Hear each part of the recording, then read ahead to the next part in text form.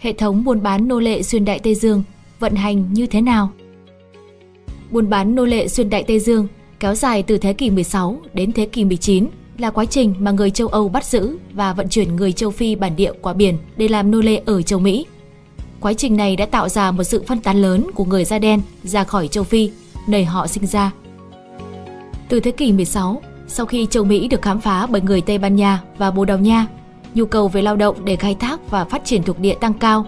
Đây là lúc người Tây Ban Nha bắt đầu nhập khẩu nô lệ từ châu Phi. Đến thế kỷ 17, 18, Anh, Hà Lan và Pháp gia nhập ngành buôn bán nô lệ. Châu Phi trở thành trung tâm của ngành này với hàng triệu người bị bắt giữ và chuyển đến châu Mỹ qua Đại Tây Dương. Buôn bán nô lệ có đóng góp rất lớn cho sự phát triển của nền kinh tế các nước châu Âu, đặc biệt là ngành công nghiệp đường, cà phê và ca cao ở các thuộc địa châu Mỹ. Đến thế kỷ 19, mặc dù nhiều quốc gia đã cấm buôn bán nô lệ, nhưng hoạt động này vẫn tiếp tục một cách bí mật. Cuối cùng, phong trào phản đối nô lệ trở thành động lực chính cho cuộc nội chiến Mỹ và sự giải phóng nô lệ ở nhiều nước khác. Như một kết quả của buôn bán nô lệ xuyên Đại Tây Dương, ngày nay có 51,5 triệu người gốc Phi ở Bắc Mỹ, bao gồm Hoa Kỳ, Mexico và Canada, 66 triệu ở Nam Mỹ, 1,9 triệu ở Trung Mỹ và hơn 14,5 triệu người tại các đảo ở vùng Caribe. Qua nhiều thế kỷ, dù có nhiều biến đổi, những cộng đồng này đã hình thành những truyền thống văn hóa riêng biệt, tạo ra những xã hội và quốc gia độc lập, nhưng vẫn giữ được những nét di sản chung của châu Phi. Nếu yêu thích video này, bạn hãy tải ứng dụng sách tin gọn để ủng hộ nhóm nhé. Cảm ơn bạn rất nhiều. Thương mại tam giác Buôn bán nô lệ xuyên Đại Tây Dương là một hệ thống buôn bán tam giác. Trước tiên, các tàu từ châu Âu đưa súng và hàng hóa khác đến châu Phi để trao đổi lấy đàn ông, phụ nữ và trẻ em bị bắt làm nô lệ. Sau đó những người này được vận chuyển qua Đại Tây Dương đến châu Mỹ trong một hành trình gọi là con đường giữa, nơi ước tính có khoảng 1,8 triệu người đã thiệt mạng. Kết thúc chu kỳ tam giác, các tàu chở hàng hóa như bông đường và thuốc lá, sản phẩm của lao động nô lệ và trở lại châu Âu. Quá trình buôn bán này đã mang lại sự giàu có cho nhiều quốc gia châu Âu và châu Mỹ, nhưng với cái giá của hàng triệu sinh mạng người châu Phi. Các nước tham gia nhiều nhất bao gồm Bồ Đào Nha, Anh, Pháp, Hà Lan, Tây Ban Nha, Hoa Kỳ và Đan Mạch đã vận chuyển tổng cộng khoảng 12,5 triệu người. Mặc dù một số quốc gia khác như Đức và Thụy Điển chỉ tham gia một cách gián tiếp và Canada thường bị bỏ qua trong lịch sử nô lệ, nhưng thực tế họ cũng đã tham gia vào hệ thống này. Shaman A. Nelson, Giám đốc Viện Nghiên cứu Chế độ Nô lệ Canada tại Đại học NSCAD ở Halifax, nhấn mạnh rằng lịch sử về nô lệ ở Canada vẫn còn là một điều ít được biết đến dù trong hay ngoài nước. Đó là một phần bị lãng quên trong lịch sử của chúng ta. Vai trò của người châu Phi trong buôn bán nô lệ Đáng chú ý là các quốc gia châu Phi cầm quyền đã đóng một vai trò quan trọng trong việc bắt và bán đồng bào của họ cho các thương nhân châu Âu. Ước tính rằng khoảng 90% tổng số người bị bắt có sự tham gia của các phe phái châu Phi. Một trong những lý do chính đằng sau việc này là do nhu cầu mua súng để chiến đấu giữa các sắc tộc.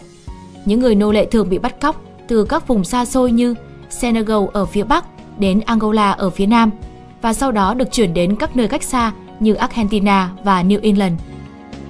Dù chế độ nô lệ là vô nhân đạo, nhưng cách thực hiện nó vẫn có thể thay đổi tùy theo địa điểm. Những khác biệt này dẫn đến sự đa dạng về dân số, văn hóa và di truyền trong các cộng đồng người da đen hiện đại trên toàn thế giới. Theo một nghiên cứu di truyền từ tháng 7 năm 2020, gen của phụ nữ nô lệ đã đóng góp nhiều hơn vào dòng dõi hiện đại của người gốc Phi ở châu Mỹ so với nam giới nô lệ. Các phát hiện cũng chỉ ra rằng gen của đàn ông da trắng đã đóng góp nhiều hơn so với phụ nữ da trắng.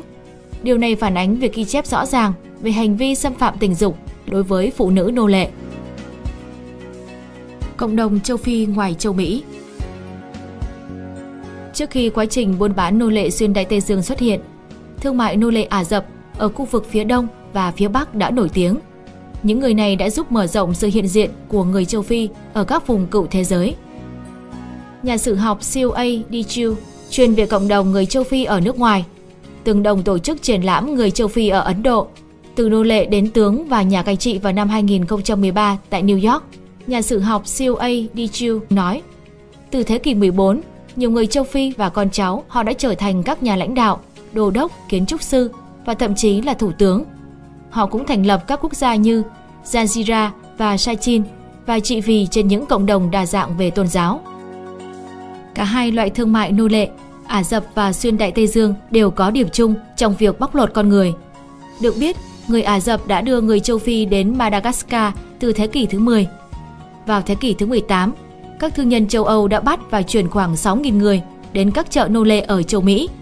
Mặc dù họ chỉ chiếm một phần nhỏ trong tổng số người bị bắt làm nô lệ, ADN của họ vẫn hiện diện trong dòng dõi của các thế hệ sau này như diễn viên Maya Rudolph và đạo diễn Keenan Ivory Wayans. Ngoài ra, người châu Âu còn bắt người châu Phi đến châu Âu để thỏa mãn những sở thích của họ. Monica L. Mueller, tác giả của Nô lệ thời trang nói rằng một số người hoàng gia và quý tộc Anh đã coi người châu Phi như là trò giải trí. Những đàn ông da đen thường bị ép ăn mặc những trang phục lộng lẫy theo xu hướng thời trang mới nhất, chỉ để tiêu khiển cho giới quý tộc và hoàng gia. Vai trò của kháng chiến Trong suốt gần 4 thế kỷ, trước khi bị các quốc gia liên quan cấm đoán, buôn bán nô lệ xuyên Đại Tây Dương không chỉ thay đổi cấu trúc của cộng đồng nô lệ tại châu Mỹ, mà còn tạo ra những phản ứng mạnh mẽ từ phía những người nô lệ. Như Michael Carr, tác giả của Black on the River, biên niên sử nổi loạn và tự do trên bờ biển hoang dã đã chỉ ra. Một ví dụ điển hình là cuộc nổi loạn của những người nô lệ ở Bắc Bay vào năm 1763 đến năm 1764. Cuộc nổi loạn này kéo dài hơn một năm và bắt đầu vào tháng 2 năm 1763 tại một thuộc địa Hà Lan nhỏ ở bờ biển Caribe của Nam Mỹ. Dưới sự lãnh đạo của Coffee, còn được biết đến với tên Coffee, những người nô lệ đã nổi dậy, đẩy người Hà Lan ra khỏi thuộc địa và tự mình kiểm soát nơi này. Mặc dù buôn bán nô lệ đã giảm đi trong nửa đầu thế kỷ 19, nhưng vẫn có một số nơi như Cuba và Brazil tiếp tục hoạt động này. Phần lớn là do nguồn lợi từ việc trồng mía, cacao và cà phê. Cuộc cách mạng công nghiệp ở châu Âu đã góp phần làm giảm nhu cầu đối với lao động nô lệ. Nhiều quốc gia như Anh và Mỹ đã ban hành luật cấm buôn bán nô lệ. Tuy nhiên, quá trình giải phóng nô lệ diễn ra chậm hơn. Với Mỹ, giải phóng nô lệ vào năm 1865 và Brazil là quốc gia cuối cùng ở châu Mỹ giải phóng nô lệ vào năm 1888. Nhưng đã nói, thông qua quá trình buôn bán nô lệ, nhiều văn hóa và truyền thống từ châu Phi đã được mang đến châu Mỹ và hòa mình vào nền văn minh mới. Tuy nhiên, những người nô lệ đã mất danh dự, ngôn ngữ và nguồn gốc của mình. Hậu quả của nó còn kéo dài đến ngày nay. Sự phân biệt chủng tộc, kỳ thị và bất bình đẳng là những vết thương mà thế giới vẫn đang cố gắng chữa lành. Buôn bán nô lệ tạo nên một dấu ấn đen tối trong lịch sử nhân loại, với hàng triệu người châu Phi bị tước đoạt tự do và địa vị. Hậu quả của nó đã và đang ảnh hưởng đến các thế hệ sau này, từ văn hóa, kinh tế đến tâm lý và xã hội của nhiều quốc gia trên thế giới. Cảm ơn bạn đã xem video tại kênh Người Nổi Tiếng. Đừng quên nhấn nút đăng ký bên dưới để ủng hộ nhóm nhé!